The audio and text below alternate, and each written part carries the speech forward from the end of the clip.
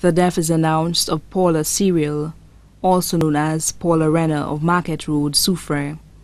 She passed away on Saturday, December 29, 2012 at approximately 5.30 am at her mother's residence in Fond Bernier.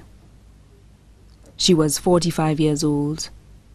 The funeral of the late Paula Cyril, also known as Paula Renner, will be held on Monday, January 14, 2013 at the Lady of the Assumption Catholic Church, Soufrière at 3 p.m. The body will then be laid to rest at the Soufrière Cemetery. The body now lies at the Lazarus Funeral Home, New Dock Road, Vieux Fort.